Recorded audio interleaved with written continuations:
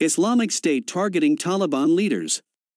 After the attack against the Kabul airport, ISKP carried out more bomb attacks in Jalalabad. Taliban leaders are divided over the group's dangerousness. The latter can field 2,000 to 3,000 fighters, against 100,000 for the Taliban. Meanwhile, the United States, China, Russia, and Pakistan are putting pressure on Afghanistan's new rulers. Kabul, a little over a month after their return to power, the Taliban are facing a growing threat from the Islamic State, Khorasan Province, ISKP, the Afghan branch of the so-called Islamic State, Daesh, group active in Syria and Iraq. The terror group is now targeting Taliban leaders, using the same urban warfare tactics previously used by the Taliban themselves.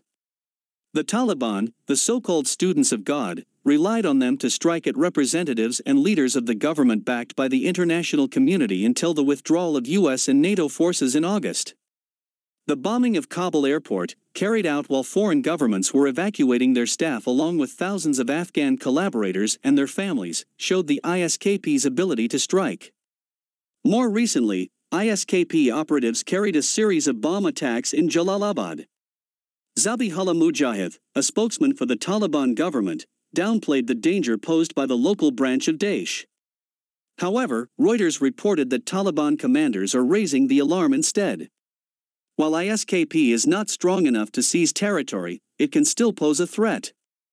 According to the United Nations, ISKP can muster around 2,000 to 3,000 fighters, compared to 100,000 at the disposal of the Taliban. The Taliban have repeatedly stated that under their rule Afghanistan will not go back to being a haven for terrorist groups such as the Islamic State and Al-Qaeda. Many analysts are skeptical, Yesterday, after talks with his counterparts from China, Russia, and Pakistan, U.S. Secretary of State Antony Blinken said that there is unity of purpose in exerting pressure on the Taliban, especially to prevent Afghanistan from becoming again a base for terrorist groups.